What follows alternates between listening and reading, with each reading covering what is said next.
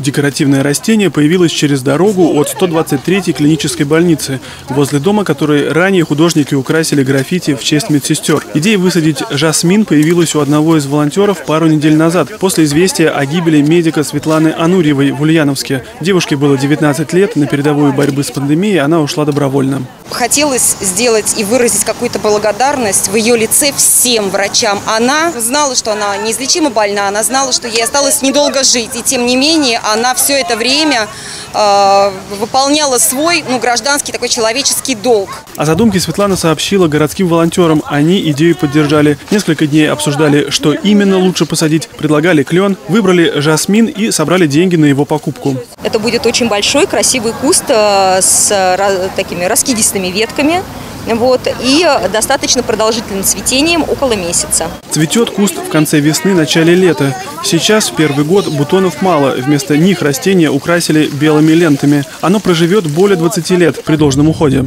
Алексей Пименов, Артем Ломоносов, телекомпания «Одинцова».